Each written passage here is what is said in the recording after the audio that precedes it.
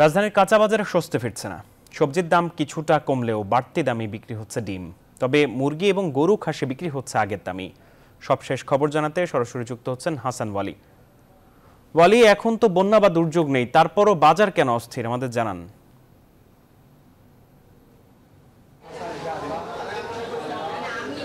মাহমুদুল, আপনাকে ধন্যবাদ। আসলে গত দুই সপ্তাহ যাবৎ কাঁচা বাজারে যে উত্তাপ ছিল, সেটি কিন্তু আজকে সপ্তাহের ছুটির দিনে সে উত্তাপ কিছুটি কমেছে।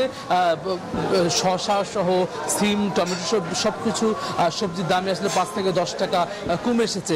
কিন্তু এর বাইরে আসলে ডিম যেটি মাঝখানে অনেক বেশি বেড়ে গিয়ে কমেছিল সেটি কিন্তু এখন আবার বাড়তি দামে বিক্রি হচ্ছে। গত দুই সপ্তাহ যাবৎ কিন্তু একশো চল্লিশ টাকা যেই ডজন প্রতি ডিম, সেটি কিন্তু বিক্রি হচ্ছে। এর বাইরে আমরা মাছের বাজারে দেখেছি, ইলিশের দাম কিছুটা কমেছে, কিন্তু এর বাইরে অন্যান্য প্রতিটি মাছই কিন্তু আসলে বেশি দামে বিক্রি হচ্ছে। সব মিলে আসলে যারা বিক্রেতারা বলছেন সরবরাহ কম থাকায় আসলে এই বেশি দামে তারা বিক্রি করতে বাধ্য হচ্ছে, তবে ক্রেতাদের কণ্ঠে কিন্তু আমরা ক্ষোভ দেখতে পাচ্ছি। তারা ক্ষোভ প্রকাশ করছেন যে আসলে অতিরিক্ত দামের কারণে তাদের যে নিত্য প্রয়োজনীয় মূল্য, দ্রব্য কিন্তু কিনতে তারা আসলে কিন্তু এক ধরনের আশঙ্কার মধ্যে পড়ছেন, তারা কিন্তু হুমকির মুখে পড়ছেন তাদের প্রতিদিনকার জীবন পরিচালনা করার জন্য। তো সব মিলে রাজধানী কাঁচা বাজারের আমার কাছে থাকা সবশেষ, মাহমুদুল।